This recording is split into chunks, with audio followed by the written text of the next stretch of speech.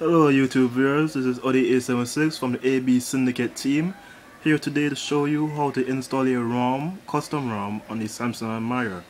Now you, your phone has to be rooted and it has to have clockwork mod recovery. Okay let's begin. First thing you need to do is have the ROM on your SD card. Second thing is to wipe everything. Now whenever I tell my YouTube users to wipe everything, this is what I mean wipe data and factory reset.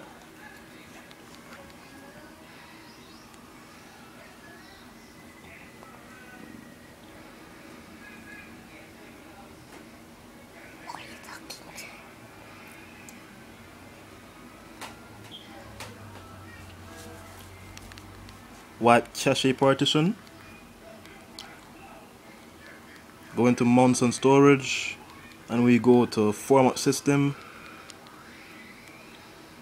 and pretty much that's all. And then you go to advanced and go to wipe Dalvik cache it's important to wipe these things in order to have the ROM run fast and smoothly and to have no errors while installing the ROM. Now we go to install zip from SD card choose zip from SD card and we locate the ROM that we want to flash. Now for now I'm just going to install Lunar Gen. There it is Lunar Gen. That zip has to be in a zip file. Go to yes and it's going to install from there. Some installation process might take a while, some might not. For Lunar Gen it doesn't really take that long but pretty much that's it about installing ROMs. Just gotta make sure it goes through perfectly. If you end up on an error saying you can't install it, you gotta go back to the page that you don't know the ROM from, read the instructions to see if it's the right recovery you have or not. So yeah, much.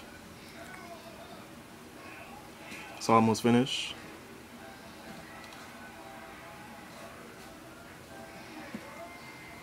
And there it is, it has been finished.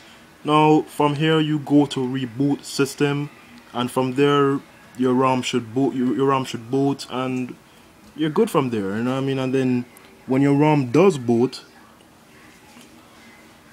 if it comes up with a setup wizard you can skip it and then check out the new features of the ROM and then turn on your Wi-Fi or the mobile data. For me I use Wi-Fi most of the time and sign into your designated Google account wait 15 minutes plus. So in, in all you wait probably 30 minutes or half an hour probably so that it could sync properly and everything could go alright when you're about to install any apps. Or else you get this error saying error 40 492 something like that or a different error. So yeah from there you you know you install your apps and from there you're good. So this has been a video by Odi876 from the AB Syndicate team Peace out.